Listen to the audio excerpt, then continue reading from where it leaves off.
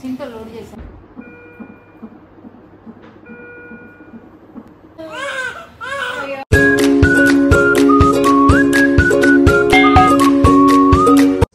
hi hello friends welcome back to Bhavishya blogs actually ಇವತ್ತು thirty first Thursday Actually ಇವತ್ತು ಮಧ್ಯಾಹ್ನನೇ ಹೋಗಿ O P ಡಿಲಿ ತೋರಿಸ್ಕೊಂಡ್ಬಂದಿದ್ದೀವಿ ಅಡ್ಮಿಷನ್ ಕೇಳಿದ್ದಾರೆ. ಮೀನ್ಸ್ ಇಂಡ್ಯೂಸ್ ಮಾಡ್ತೀವಿ ಅಂತ. ಯಾಕಂದರೆ ಪೇಯ್ನ್ ಬಂದಿಲ್ಲ. ಇವತ್ತು ಅಲ್ಲೇ ಫೋರ್ಟಿತ್ ವೀಕ್ ಕಂಪ್ಲೀಟ್ ಆಗ್ತಿದೆ.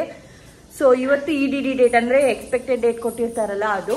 ಸೊ ಹಂಗಾಗಿ ಅಡ್ಮಿಷನ್ನು ಡಿನ್ನರ್ ಮುಗಿಸ್ಕೊಂಡು ಬನ್ನಿ ಅಂತ ಹೇಳಿದ್ದಾರೆ ನೈನ್ ಓ ಕ್ಲಾಕ್ಗೆ ಸೊ ಹೋಗಬೇಕು. ಅಮ್ಮ ಇಲ್ಲಿ ಅಡುಗೆ ಮಾಡ್ತಾ ಇದ್ದಾರೆ. ಊಟ ಮಾಡಿಕೊಂಡು ಹೋಗೋದಕ್ಕೆ ರೆಡಿ ಆಗ್ತಾ ಇದ್ದೀವಿ ನನಗಂತೂ ಭಯ ಭಯ ಆಗ್ತಿದೆ. ಏನು ಅಡುಗೆ ಮಾಡ್ತಾ ಇದೆಯಾ ಅಮ್ಮ? ಬಸ್ಸಾರು ಮುದ್ದೆ. ಇಲ್ಲಿ ನೋಡಿ ಬಸ್ಸರ್ ಖಾರ ಕಲಿಸ್ತಾ ಇದ್ದಾರೆ ಕಾಳು ಒಗ್ಗರಣೆ ಆಗಿದೆ. ಕಾಳು ಒಗ್ಗರಣೆ ಆ ಕಡೆ ಹಾಕಿದ್ದಾರೆ. ಅದು ಮುದ್ದೆಗಾ? ಸೊ ಮುದ್ದೆ ಬಸ್ಸಾರು ತಿನ್ಕೊಂಡು ಹೋಗಿ ಇಂಡ್ಯೂಸ್ ಮಾಡಿಸ್ಕೋಬೇಕು. ಸೆಪ್ಟೆಂಬರ್ ಫಸ್ಟ್ ನಾಳೆಗೆ ಮೇ ಬಿ ನನಗೆ ಆಗುತ್ತೆ ಅನ್ಕೋತೀನಿ. ಇವಾಗ ಇಂಡ್ಯೂಸ್ ಮಾಡಿದ್ರೆ ಒಂದು six to seven hours pain ಇರುತ್ತೆ ಅಂತ ಹೇಳಿದ್ದಾರೆ. ಸೊ ಇವತ್ತು ನನ್ನ ಈ ಬ್ಲಾಗಲ್ಲಿ ಡೆಲಿವರಿ ಬ್ಲಾಗ್ ಬರುತ್ತೆ. ಕಂಟಿನ್ಯೂ ಮಾಡ್ತೀನಿ. ನನ್ನ ತಂಗಿ ಬಂದಿದ್ದಾಳೆ. ನಂದು ಏನಾದರೂ ಬ್ಲಾಗ್ ಮಾಡೋದಕ್ಕೆ ಹಾಯ್ ಮಾಡೆ. ಹೇಳಿದ್ದೀನಿ ಅವಳಿಗೆ, ನಂಗೆ ಡೆಲಿವರಿ ಬ್ಲಾಗ್ ಬೇಕು ಮೆಮೊರೀಸ್ಗೆ ಮಾಡು ಅಂತ. ಬಟ್ ಟ್ರೈ ಮಾಡ್ತೀನಿ ಅಂದಿದ್ದಾಳೆ. ಅವಳಿಗೂ ಒಂದು ಸ್ವಲ್ಪ ಶೈ ಫೀಲ್ ಇರುತ್ತೆ.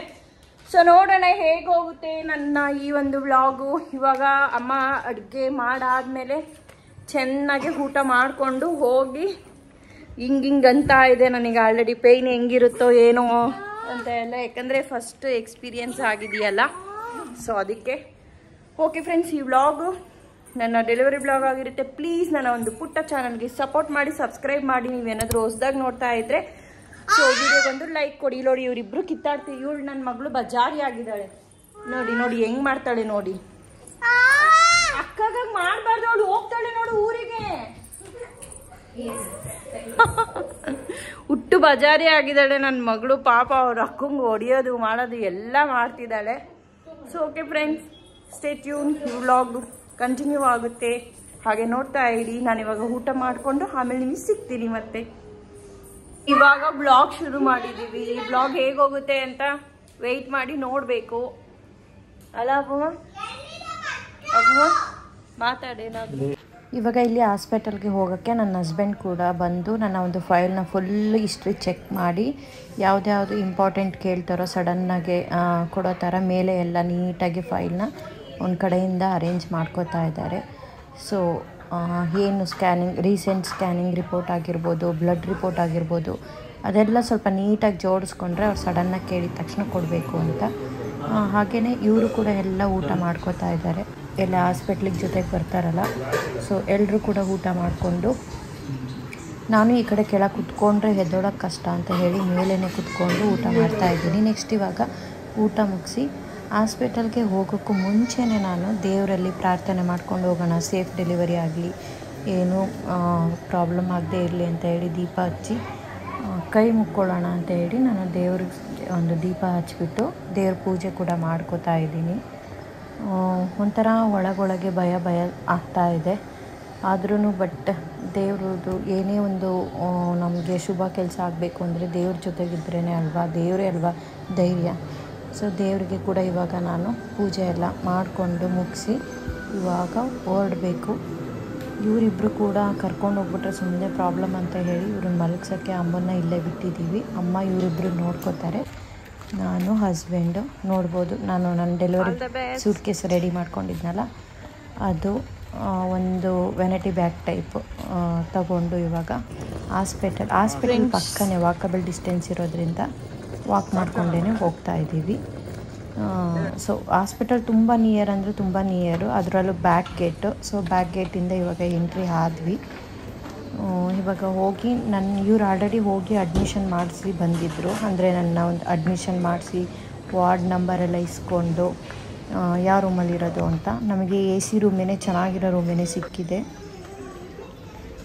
ಬಟ್ ಎ ಸಿ ನಾನು ಆಮೇಲೆ ಹೇಳ್ತೀನಿ ಇದೊಂದು ಅಪ್ಡೇಟ್ನ ನೋಡ್ಬೋದು, ಇವಾಗ ಇಲ್ಲಿ ಅಡ್ಮಿಷನ್ ಎಲ್ಲ ಆಗಿದ್ದು ನಂಬರ್ ಇರುತ್ತಲ್ಲ, ಅದೆಲ್ಲ ಕೊಟ್ಟು ರಿಜಿಸ್ಟ್ರು ಮಾಡಿಸಿ ನಾವಿವಾಗ ಹೋಗಬೇಕು ಒಳಗೆ.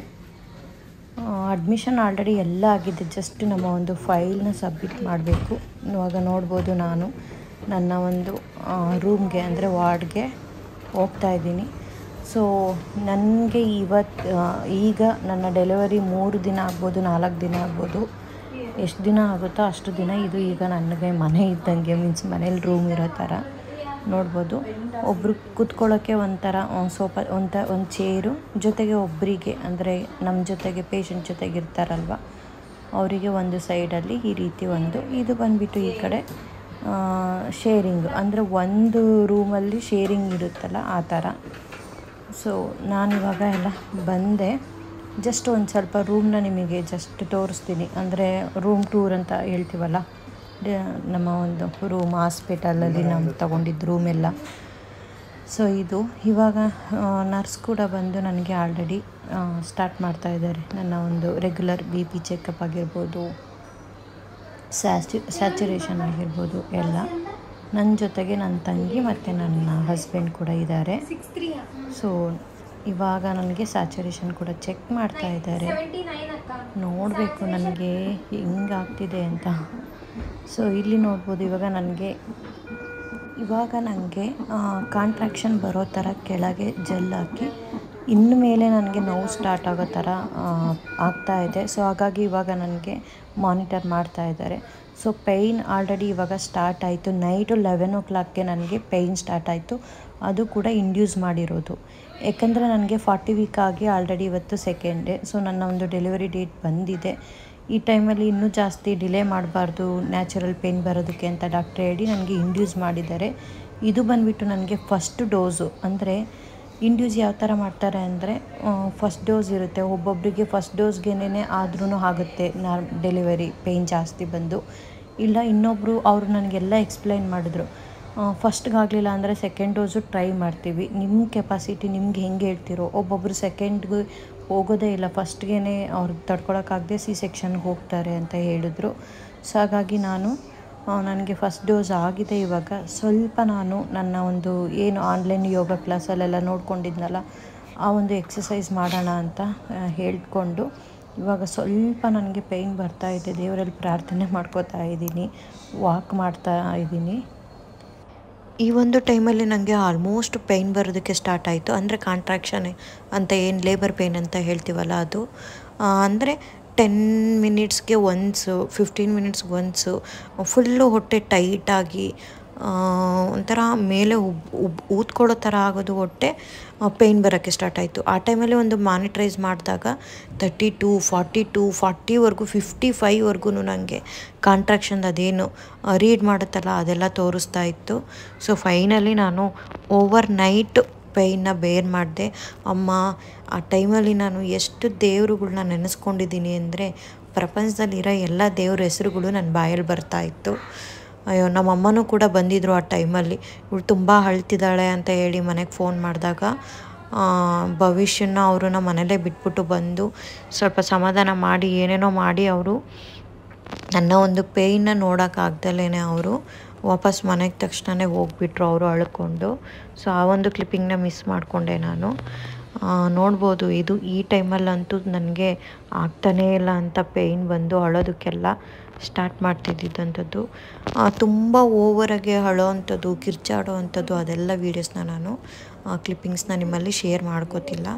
ಸೊ ಬೇಡ ಅಂತ ಹೇಳಿ, ನನಗೆ ಪರ್ಸ್ನಲಿ ಒಂಥರ ಏನೋ ಅನ್ನಿಸ್ತು ಓವರ್ ಅನ್ನೋ ಫೀಲ್ ಆಯಿತು ಅಂತ ಹೇಳಿ. ಸೊ ಅಷ್ಟೇ ನೋಡ್ಬೋದು ಇವಾಗ ನಾನು ಪೇಯ್ನ ಕಂಟ್ರೋಲ್ ಮಾಡ್ಕೊಳ್ಳೋಕ್ಕೆ ಬಟರ್ಫ್ಲೈ ಎಕ್ಸಸೈಸ್ ಆಗಿರ್ಬೋದು, ಅದೆಲ್ಲ.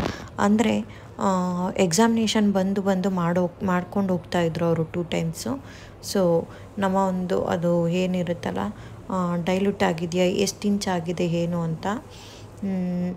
ಆಲ್ಮೋಸ್ಟ್ ನನಗೆ ಫಸ್ಟ್ ಡೋಸು ಇದು ಆದಮೇಲೆ ಫೈ ಅವರ್ಗೆ ಸಿಕ್ಸ್ ಅವರ್ಗೆ ಒಂದೊಂದು ಡೋಸು ಅದೇನು ಡ್ಯೂರೇಷನ್ ಇರುತ್ತೆ ಅಂತ ಹೇಳಿದರು ನನಗೆ ಅವರು. So six hours continuous pain ಬರ್ತಿತ್ತು. ಕರೆಕ್ಟು ನನಗೆ ಒಂದು ಫೈವ್ ಆ್ಯಂಡ್ ಹಾಫ್ ಅವರ್ಸ್ ಅದೇನು ಇಂಡ್ಯೂಸ್ ಮಾಡಿ, ಆ ಟೈಮಲ್ಲಿ ಸ್ವಲ್ಪ ರಿಲ್ಯಾಕ್ಸ್ ಅನ್ನೋದಕ್ಕೂ ಕೂಡ ಸ್ಟಾರ್ಟ್ ಆಯಿತು. ಅದು ಕೂಡ ವೀಡಿಯೋಸ್ ಇದೆ. ಮುಂದೆ ಎಲ್ಲ ಸ್ಕಿಪ್ ಮಾಡ್ಕೊಳ್ಳೋಕೆ ಹೋಗಬೇಡಿ. ಸೊ, ಹೇಗಿರುತ್ತೆ ಈ ಒಂದು ವಿಡಿಯೋದಿಂದ ಹೇಗಿರುತ್ತೆ ಆ ಒಂದು ಲೇಬರ್ ಪೇಯ್ನು ಯಾವ ಥರ ಇರುತ್ತೆ? ಅಮ್ಮ ಆದವಳು ಒಂದು ಮಗುನ ಭೂಮಿಗೆ ತರಬೇಕು ಅಂದರೆ ಎಷ್ಟು ಕಷ್ಟಪಡಬೇಕಾಗುತ್ತೆ ಅನ್ನೋ ಒಂದು ಇದು ಕೂಡ ನನಗೆ ತಿಳಿಸೋ ಒಂದು ಇದು. ತುಂಬ ಅಂದರೆ ತುಂಬ. ಇವಾಗ ಸಿಕ್ಸ್ ಅವರ್ ಆಗಿ ಸ್ವಲ್ಪ ರಿಲ್ಯಾಕ್ಸ್ ಅನ್ನೋ ಟೈಮಲ್ಲಿ ನಾನು ಒಂದು ಹಾಫ್ ಆನ್ ಅವರು ಮಲ್ಕೊಂಡೆ, ರಿಲ್ಯಾಕ್ಸ್ ಮಾಡಿಕೊಂಡೆ. ಈ ಟೈಮಲ್ಲಿ ಡಾಕ್ಟ್ರಿಗೆ ಇನ್ಫಾರ್ಮ್ ಮಾಡಿದ್ವಿ. ಅವ್ರು ಬರೋವರೆಗೂ ನನ್ನ ಹಸ್ಬೆಂಡ್ ಕೂಡ ಅಲ್ಲೇ ಹಂಗೆ ಚೇರ್ ಮೇಲೆ ಸ್ವಲ್ಪ ರೆಸ್ಟ್ ಮಾಡಿಕೊಂಡ್ರು. ನನ್ನ ತಂಗಿನೂ ಕೂಡ ಅಲ್ಲೇ ಮಲ್ಕೊಂಡಿದ್ದಾಳೆ. ಹೆಗೇನ್ ಅವ್ರು ಬಂದು ನನಗೆ ಈ ಟೈಮಲ್ಲಿ ಸೆಕೆಂಡ್ ಡೋಸ್ಗೆ ರೆಡಿ ಮಾಡ್ಕೊಳ್ಳೋದಕ್ಕೆ ಹೋದರು ಅವರು. ಸೆಕೆಂಡ್ ಡೋಸು ಏನು ಅದು ಇಂಡಕ್ಷನ್ ಮಾಡ್ತಾ ಇಂಡ್ಯೂಸ್ ಮಾಡ್ತಾ ಇಂಡಕ್ಷನ್ ಸಾರಿ ಇಂಡಕ್ಷನ್ ಇಂಡ್ಯೂಸ್ ಮಾಡ್ತಾರಲ್ಲ ಪೇಯ್ನ್ ಬರೋ ಥರ ಅದನ್ನು ಸೆಕೆಂಡ್ ಇದಕ್ಕೆ. ಸೊ ನನ್ನ ಹಸ್ಬೆಂಡ್ ಇವಾಗ ನನಗೆ ಸ್ವಲ್ಪ ಪೇಯ್ನ್ ರಿಲೀಫ್ ಆಗೋದಕ್ಕೆ ಈ ರೀತಿ, ಮತ್ತು ಬೇಗನೆ ಏನು ಡೈಲ್ಯೂಟ್ ಆಗೋದಕ್ಕೆ ನನಗೆ ಹೆಲ್ಪ್ ಮಾಡ್ತಾ ಇದ್ದಾರೆ. ನನ್ನ ಹಸ್ಬೆಂಡ್ ಅಂತೂ ತುಂಬ ಅಂದರೆ ತುಂಬ ಸಪೋರ್ಟಿವು ನನ್ನ ಅವ್ರ ಬಗ್ಗೆ ಹೇಳಿದ್ರೆ ಸುಮ್ಮನೆ ಬಾಯಿ ಮಾತಲ್ಲಿ ಹೇಳೋದಕ್ಕಾಗಲ್ಲ, ಅಷ್ಟು ಸಪೋರ್ಟಿವು ಮಗು ಥರ ನೋಡ್ಕೋತಾ ಇದ್ರು. ಓವರ್ ನೈಟ್ ನಾನೆಷ್ಟು ಪೇಯ್ನ್ ಬೇರ್ ಮಾಡ್ತಿದ್ದೀನೋ ನನ್ನ ನೋಡಿ ಅವರು ಸಂಕಟ ಪಡ್ತಾಯಿದ್ರು ಐ ಮೀನ್ ನಾನಿಲ್ಲಿ ಪೇಯ್ನ್ ಬೇರ್ ಮಾಡ್ತಾಯಿದ್ರೆ ಅವರು ಒಳಗೊಳಗೇ ಸಂಕಟ ಪಡ್ಕೊಂಡು ಅವರು ಕೂಡ ಅಳೋ ಥರ ಎಲ್ಲ ಮಾಡ್ತಾಯಿದ್ರು ಕೊನೆಗೆ ನನಗೆ ಕಾಲು ಒತ್ತೋದಾಗಿರ್ಬೋದು, ಅವರು, ಅವ್ರಿಗೆ ಗೊತ್ತಾಗ್ತಿಲ್ಲ ನಾನು ಏನು ಮಾಡಲಿ ಏನು ಮಾಡಲಿ, ಇವಳು ಪೇಯ್ನ ಒಂದು ಪಕ್ಷ ಏನಾದರೂ ನನ್ನ ಪೇಯ್ನ ಶೇರ್ ಮಾಡ್ಕೊಳ್ಳೋ ಥರ ಇದ್ದಿದ್ರೆ ಅವರೇ ಶೇರ್ ಅವರೇ ಪೂರ್ತಿ ಪೇಯ್ನ ಬೇರ್ ಮಾಡೋದಕ್ಕೆ ರೆಡಿ ಇದ್ದರು ಅಷ್ಟು ಪಾಪ ಸಂಕಟ ಪಡ್ತಿದ್ರು. ನಾನು ಅವರು ನೋಡೋಕ್ಕಾಗ್ದೇ ಒಂದು ಸ್ವಲ್ಪ ಹೊತ್ತು ಅಳೋದನ್ನು ಕಮ್ಮಿ ಮಾಡ್ಕೋತಾ ಇದ್ದೆ. ಸೊ ನೋಡ್ಬೋದು ಇಲ್ಲಿ ನನಗೆ ಎಷ್ಟು ಕೋಪ್ರೇಟ್ ಮಾಡ್ತಾಯಿದ್ರು ಅಂತ. ಅಂದ್ರೂ ಪಾಪ ಅವರು ಸಿ ಸೆಕ್ಷನ್ ಮಾಡಿಸ್ಬಿಡ್ಲ, ತುಂಬ ಪೇಯ್ನಾ ಅಂತ ಎಲ್ಲ ಕೇಳ್ತಾಯಿದ್ರು ಆದ್ರೂ ನಾನೇ ಹಠ ಮಾಡಿಕೊಂಡು ಓಕೆ ನೋಡೋಣ ನೋಡೋಣ. ಡಾಕ್ಟ್ರೇ ಇಷ್ಟು ಪಾಸಿಟಿವ್ ಆಗಿ ಹೇಳ್ತಿದ್ದಾರೆ, ನೋಡೋಣ ಅಂತ ಹೇಳಿ ಹೆಂಗೋ ಸ್ವಲ್ಪ ಕಂಟ್ರೋಲ್ ಮಾಡಿಕೊಂಡು ಕಂಟ್ರೋಲ್ ಮಾಡಿಕೊಂಡು ವೆಯ್ಟ್ ಮಾಡ್ತಾಯಿದ್ದೆ ಅಂದರೆ ಸಿವಿಯರ್ ಪೇಯ್ನ್ ಬರೋದಕ್ಕೆ ಯಾವಾಗ ಸ್ಟಾರ್ಟ್ ಆಗುತ್ತೋ ಸಿವಿಯರ್ ಪೇಯ್ನ್ ಬರೋದಕ್ಕೆ ಯಾವಾಗ ಸ್ಟಾರ್ಟ್ ಆಗುತ್ತೋ, ಹಾಗೆ ಮಾನಿಟ್ರೈಸರಲ್ಲಿ ಕಾಂಟ್ರಾಕ್ಷನ್ ನೋಡಿ ಡ, ನಮ್ಮ ಒಂದು ಇದನ್ನು ಎಕ್ಸಾಮಿನೇಷನ್ ಮಾಡಿ ಎಷ್ಟು ಸೆಂಟಿಮೀಟರ್ ಅವರಿಗೆ ಸೆವೆನ್ ಟು ಏಯ್ಟ್ ಸೆಂಟಿಮೀಟರ್ ನಂದು ಡೈಲ್ಯೂಟ್ ಆಗಬೇಕಿತ್ತು. ಸೊ ಹಾಗಾಗಿ ಇನ್ನೂ ಕೂಡ ನೋಡ್ಬೋದು ಟೈಮ್ ಅಲ್ಲೇ ನಿಮಗೆ ತೋರಿಸಿದೆ ಫೋರ್ ಫಾರ್ಟಿ ಫೈ ಆಗಿತ್ತು. ಸೊ ಇದು ಸ್ಟಿಲ್ ನಾನು ಪೇಯ್ನ ಬೇರ್ ಮಾಡ್ತಾಯಿದ್ದೆ ನನ್ನ ಹಸ್ಬೆಂಡ್ ಕೂಡ ನನಗೆ ತುಂಬ ಅವರು ಕೂಡ ಮಲಕ್ಕೊಂಡ್ಲೇ ಇಲ್ಲ. ಜಸ್ಟ್ ಒಂದು ಟೆನ್ ಮಿನಿಟ್ಸ್ ಹಂಗೆ ಚೇರ್ ಮೇಲೆ ಕೂತ್ಕೊಂಡು ರಿಲ್ಯಾಕ್ಸ್ ಮಾಡಿದ್ದು ಬಿಟ್ಟರೆ ಸೊ ತುಂಬ ಅಂದರೆ ತುಂಬ ಪೇಯ್ನ ನಾನು ಬೇರ್ ಮಾಡಿದೆ. ನನಗೆ ಒಂಥರ ಗ್ರೇಟ್ ಅನ್ನೋ ಫೀಲ್ ಆಯಿತು. ಇವಾಗ time almost morning five forty five ಆಯಿತು.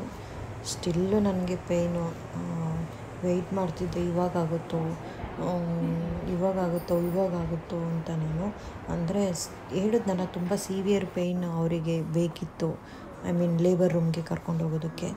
ಸ್ಟಿಲ್ ಅಗೇನ್ ನಾನು ಎಕ್ಸಸೈಸ್ನ ಸ್ಟಾರ್ಟ್ ಮಾಡಿದೆ ಸ್ವಲ್ಪ. ಲಾಸ್ಟ್ ಲಾಸ್ಟಲ್ಲಿ ಅಂತೂ ಹೆಂಗಿತ್ತು ಪೇಯ್ನು ಅಂದರೆ, ಅಪ್ಪ, ಬಾಯಿ ಮಾತಾಗಿ ಹೇಳೋಕ್ಕೆ ಆಗೋಲ್ಲ. ಕಿರ್ಚಾಡಿಕೊಂಡು ತುಂಬ ಹಾರಿಬಲಾಗಿ ನಾನು ಕಿರ್ಚಾಡಿದ್ದೀನಿ. ಸೊ ತುಂಬ, ಈ ಟೈಮಲ್ಲಿ ನನಗೆ ಆಲ್ರೆಡಿ ಮಾರ್ನಿಂಗ್ ಒಂದು eleven thirty twelve o'clock ಹಂಗೆ ತುಂಬ ಪೇಯ್ನ್ ಸ್ಟಾರ್ಟ್ ಆಯಿತು. ಆಲ್ರೆಡಿ ನನಗೆ ಲೇಬರ್ ರೂಮ್ ಎಲ್ಲ ರೆಡಿ ಮಾಡಿಕೊಂಡು ಈ ಒಂದು ಟೈಮಲ್ಲಿ ವೆಯ್ಟ್ ಮಾಡ್ತಾಯಿದ್ರು ನನಗೆ ಕರ್ಕೊಂಡು ಹೋಗೋದಕ್ಕೆ. ಸೊ ಈಗ ಈಗೇನು ವಾಕ್ ಮಾ, ಈ ಟೈಮಲ್ಲಿ ನನಗೆ ತುಂಬ ಕಿರ್ಚಾಡಿರೋದು, ಎಲ್ಲ ವೀಡಿಯೋಸ್ ಕೂಡ ಇತ್ತು. ಅದನ್ನೆಲ್ಲ ನಾನು ಶೇರ್ ಮಾಡ್ತಿಲ್ಲ. ಸೊ ಈಗ ನಂದು ಫೈನಲ್ ಸ್ಟೇಜ್ ಅಂತಲೇ ಹೇಳ್ಬೋದು. ಈ ಟೈಮು ಈ ಈ ಒಂದು ನೆಕ್ಸ್ಟ್ ಕ್ಲಿಪ್ಪೇನೆ ನಂದು ಲೇಬರ್ ರೂಮಲ್ಲಿ ಲೇಬರ್ ಆಗಿದ್ದು, ನನಗೆ ಫೈನಲಿ ಬೇಬಿ ಆಯಿತು, ನೋಡ್ಬೋದು. ಬೇಬಿನ ಈ ರೀತಿ ಆಗಿದ ತಕ್ಷಣ ನನ್ನ ಚೆಸ್ಟ್ ಮೇಲೆ ಕೊಟ್ಟರು ಎಪ್ಪತ್ತು ಅದು ಮಗು ನೋಡಿ, ಅಮ್ಮ ಬಂದ್ಬಿಟ್ಟ ನಾನು ಅಂತ ಹೇಳಿ. ಸಾಕು ಅನ್ನಿಸ್ಬಿಡ್ತು. ತುಂಬ ಖುಷಿನೇ ಆಯಿತು. ಸೊ ಫೈನಲಿ ನನಗೆ ಈ ರೀತಿ ಬೇಬಿ ಆಗಿ ವಾರ್ಡ್ಗೆ ಅಗೈನ್ ಶಿಫ್ಟ್ ಮಾಡಿದ್ರು. ಬೇಬಿದು ತುಂಬ ಕ್ಲಿಪ್ಪಿಂಗ್ಸ್ ಇದೆ. ಹಾಗೆ ಬೇಬಿನ ಆಗಿದ್ದೆಲ್ಲ ಇದೆ. ಮುಂದೆ ವಿಡಿಯೋದಲ್ಲಿ ನಾನು ಡೀಟೇಲಾಗಿ ಅಂದರೆ ನನ್ನ ನಾನು ಲೇಬರ್ ರೂಮಲ್ಲಿ ತೆಗೆದಿರೋಂಥ ವೀಡಿಯೋಸ್ನೆಲ್ಲ ಆದರೆ ನಾನು ಶೇರ್ ಮಾಡ್ಕೋತೀನಿ. ಸೊ ಇಲ್ಲಿವರೆಗೂ ನೋಡಿದ್ದಕ್ಕೆ, ನನ್ನ ಲೇಬರ್ ಪೇಯ್ನ್ ಹೇಗಿತ್ತು ಅಂತ ನಾನು ಕೇಳಿದ್ದಕ್ಕೆ ನಿಮಗೆಲ್ಲರಿಗೂ ಧನ್ಯವಾದಗಳು. ಈ ಒಂದು ವ್ಲಾಗ್ನ ನಾನು ಇಲ್ಲಿಗೆ ಹೆಣ್ಣು ಮಾಡ್ತೀನಿ.